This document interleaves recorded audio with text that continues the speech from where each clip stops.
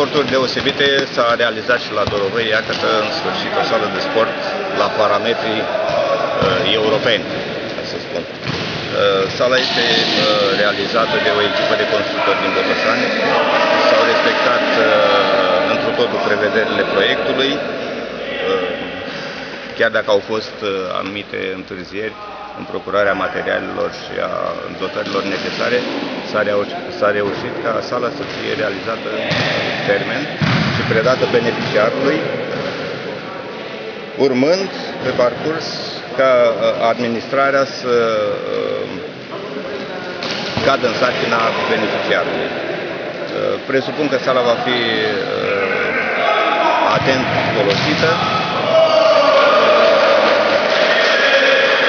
sper să, ca cetățenii orașului să poată beneficia de dotările acestei săli.